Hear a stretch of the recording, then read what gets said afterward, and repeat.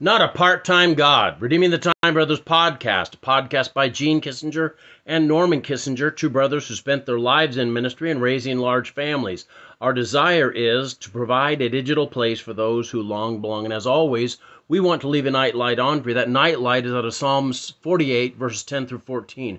According to thy name, O God, is so is thy praise unto the ends of the earth. Thy right hand is full of righteousness.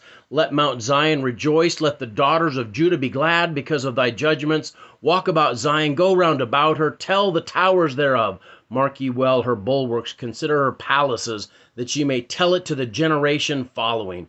For this God is our God forever and ever. He will be our guide even unto death. During his lifetime, Charles Wesley wrote over 3,000 hymns, many of which are still sung in the church today. God has faithfully, uh, he had served God faithfully for 50 years. When he was on his deathbed, Wesley dictated one final poem to his wife Sally. In age and feebleness extreme, who shall helpless this who shall a helpless worm redeem? Jesus, my only hope thou art, strength of my failing flesh and heart. Oh, could I catch a smile from thee and drop into eternity? Wow. God's not some part time, fickle, um, on again, off again kind of a God. He's faithful from the cradle to the grave. He watches out over you from the moment you, you were conceived until the moment you drop into a casket and into the grave.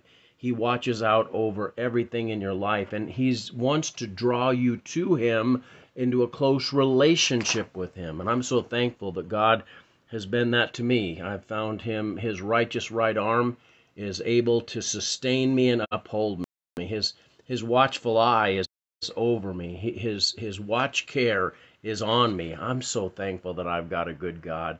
Are you serving God today and remembering that He's watching out over you? His eye is on the sparrow, and I know He watches me.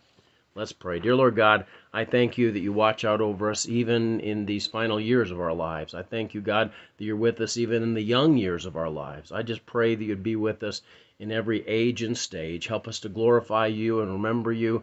And Lord, may you remember us as you gather us into eternity. In Jesus' name, amen. Hey, God bless you. I love you, but Jesus loves you so much more. Have a great